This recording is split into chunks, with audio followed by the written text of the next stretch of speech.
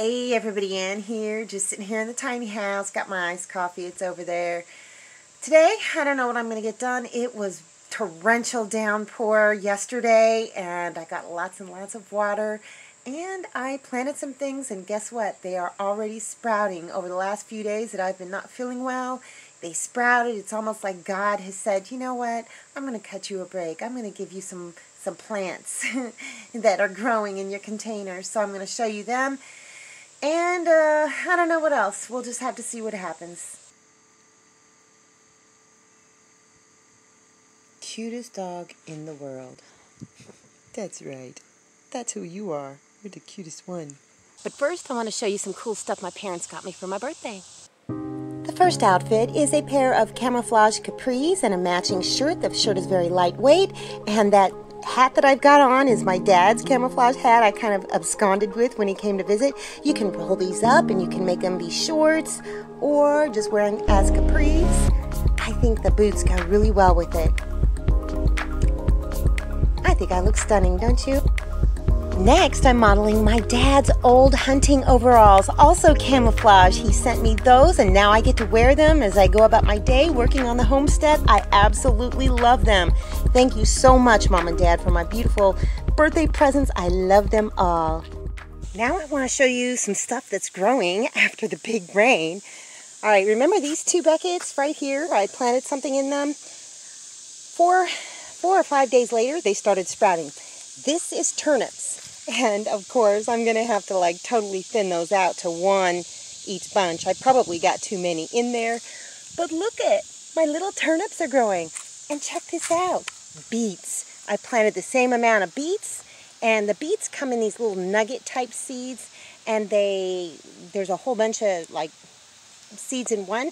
So once they get a couple, two, three inches, I'll go ahead and weed those out. We got one here, we got one there, we got them there, um, yeah, and I think that's all.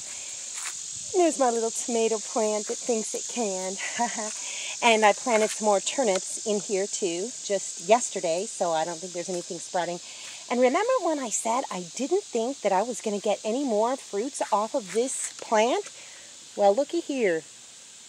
We've got one here. We've got one here. I'm going to be very gentle. Hopefully one will be coming here. Another one is coming right in there. I hope you can see it. The sun is beating down on my phone. There's another bloom right there. And there is a bug. I'm going to kill it. This is the green bell pepper plant, and I thought this was toast too, but it's not. We're getting more fruits in. We're getting some more. They're going to come. So, all in all, I'm pretty happy. Yeah, yeah, I, my garden's getting a second wind. All right, let's go over to the other side of the house. Yes, I blocked this area off because Judy would be in here digging around. So the same day that I planted those buckets, I planted, well actually it was the day after, some more beans. And also in between, I planted beets and turnips. Uh, beans, turnips, beans. I don't know what's in there. Um, more beans and these are, no, those are beets. Those are beets. These may be beets too. And some more turnips here. Uh, yeah, I'm going to have to thin things out big time. I don't even know if they're going to grow in here. Just for good measure, I yesterday I threw a few seeds, uh, two turnip, two beets in here. And then over here, see, that's what I'm talking about, guys, when I go, look, look at this. All right, more beans in the back. There is a full, full row of beets, half row of beets, half of turnips, and half a row, uh, full row of turnips. And it looks like we already have one turnip coming in. Right. Oh, we got some more. There's some little sproutlings coming up. So I had the extra seeds, bean seeds, so I figured I'm going to plant them. They didn't do well. These are still the bush bean. But I figured I'd just go ahead and use the seeds and they came up and I'm going to have to just tend this garden much, much more closely because remember we had the ants in here. Ah, this is exciting. Remember I told you that it rained? Look at all of these buckets are filled. Every single last one of them and Judy's little play pool is filled too. There's buckets on the other side. They're all full. And look at this, you guys. I don't know if you can see it, but this bucket is full. This one is full. It was emptying into there. And I filled up all of these. I got out in the middle of the rain and filled them up. I figured, why not? And I pulled this one over here just to see what it would do. And check it out. It is complete. Ooh, chicken food, chicken food. It's completely full. Also, I don't know if you can notice, but Mr. Lucas came over day before yesterday and mowed my lawn. There's the beautiful Miss Judy. she's been she's been being crazy. Oh, look it. Look it. You know those ants that were in that other that uh, garden box? They've come and reestablished their colony here. You know what? I don't care. Um, I had to put the chickens. I had to put the chickens on those. Speaking of chickens, let's go see what the chickens are doing. Let's see. They've made a mess. That's okay. I got so much. Look at, look at the baby chickens. Hi, chickens. Oops, I left, and they've got a little food cup in there. Every morning I make them a little breakfast. Hi, girls. Hello. I cannot tell them apart anymore. They're, I think, the one farthest away from us. I think that's Sunshine. There's two bigger ones and two smaller ones, but I can literally not tell them apart anymore. So I don't know which one's Patsy. I don't know which one. The only way I can tell or think that it's Patsy, Patsy likes to go and kind of be by herself. You know what I mean? She kind of gets off by herself every once in a while. But they're doing great. This is working out better, actually, putting the water up higher and that one down there. It doesn't spill as much. Oh, just look at them. Well, this, I was hoping to get this all fixed by tomorrow. I was supposed to have some garden fencing stuff that I was going to put up here. It's basically the same as this, but it's plastic. And I was going to put some all the way across here. I still can't get that door open, but that's okay. Um, so I was kind of disappointed about that because I had planned on taking this off and enclosing the ramp that I'm going to put, oops, sorry, moving too fast, from here to their little chicken run. So I can't do that yet because I can't take this off. But that's all right. I'll wait till Tuesday. It's supposed to be delivered Tuesday. Look at my beautiful chickens. Hello, young ladies. Hello. You are just so gorgeous. They're getting so big. They're eating so well. They eat everything. They eat their chicken feed. They eat bugs. I've been getting squash bugs for them. And I've had, oh, don't pick on the curtains. They'll eat curtains. They eat everything. And so far, this deep litter method uh, is working. There is no odor. It just smells like uh, smells like earthy woods, you know. And um, so things are going pretty good. The only thing is, is somehow they're getting up here and roosting at night because they leave a bunch of poop. Why don't they roost over on their roost? Anyhow, these chickens have brought me so much joy. You guys just have no idea and they're very, very healthy. I think what I'm going to do though, diatomaceous earth is good for treating mites and parasites and stuff like that, but they don't want you to put diatomaceous earth throughout the uh, the litter. So I think what I'm going to do is put some diatomaceous earth in their little box over there, and they'll kick some of it out. But because the the diatomaceous earth will kill good things that we want to work and compost this litter down. And I think I'm going to dust them with some diatomaceous earth too, just to make sure, because I don't, I haven't seen anything on them. Um, they don't look irritated or anything.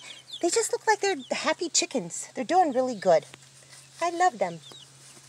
I had kind of thought that this uh, giant red Cubanelle pepper plant was done, but it's not. Look it, it's got more blooms. It's got a couple fruits on it, one bigger one, one little one, so I'm not giving up on this one yet either. And the watermelon plant is still growing. I've taken the vines up when Mr. Lucas was mowing so he could just mow right through this. Look at these. Look. Look. Sounds hollow. And then there's another smaller one right next to it. So somebody said something about a tendril turning brown. That's this. But I've heard the actual stem has to turn brown and that the underside needs to look paler. So we're going to leave that one there. I've got another one here, this little tiny baby one, and I've got an even bigger one here. That one sounds pretty hollow. Let's see what it looks like underneath. Uh, nothing new. Oh, there's another little one right there. Let's not smush that. So, yeah, that's still That is still green, so I don't think that's ready to go yet. And there's a few more smaller ones on it, but I don't know if I'll get more than maybe a couple watermelons. These cucumbers that I've just totally left to their own devices are totally making huge cucumbers. There's one right there, there's one right there, there's a big one kind of like over there. I don't know if you can see it, I'm not going to walk over there. But I'm getting plenty of cucumbers from these things. Squash plants, I went ahead and harvested the one spaghetti squash. I'll show it to you in a little bit. These are totally overran with squash bugs. I've been gathering them up and feeding them to the chickens. They love them. Uh, so I don't think I'm going to be getting any more spaghetti squash. Look at that. Look at that squash bug. I'm going to come back later and get you for the chickens. Uh, I pulled out all the beans. They were doing nothing. Tomatoes are still okay. I'm still getting tomatoes off of them. And they seem to be looking all right. Anyhow, yeah, that's this garden bed. Now, this is going to be completely done away with. I'm going to tell you why. I'm not even going to use the soil for anything else because I heard that the squash bugs overwinter in the soil and they'll come out the next year. So I am not going to use this soil. I'm just going to disassemble the garden beds, smooth the soil out, and just use this, you know, as it's just a big lawn. So, I don't know, I'm pretty happy. Oh, here, I did come over on this side after all. Look at that funny looking one. Look at how funny that looks. Oh, there's another one there. I'm going to have to gather some pretty soon here. One thing I can tell you guys right now is that the mosquitoes have been really, really bad. Very bad. So what I need to do today, I'm not going to show you because it's boring. I'm going to go gather up all that water, either dump it out, put lids on the things that can have lids, and uh, just make sure that mosquitoes can't get in there and create more mosquitoes because I can't even stand hardly being outside right now just because of how badly I'm getting bitten. Anyhow, well, that's my that's my little update for my fledgling homestead. So thank you for all the happy birthday wishes and the well wishes when I was like barfing and you know what else, you know, the whole GI thing. I really appreciate it and huh, it's going to be a hot one today. It is. It's not even very sunny. Anyway, that's all I got for you guys today. See you in the next video.